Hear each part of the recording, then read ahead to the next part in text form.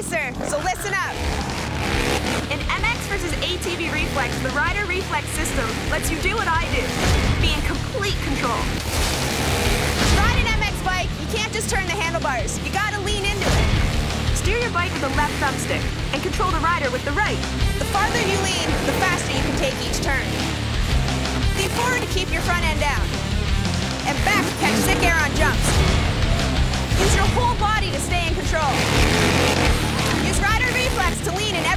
Every and you'll place first.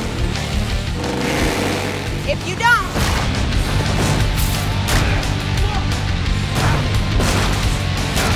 grab MX versus ATV reflex and practice, and maybe one day you can keep up with me.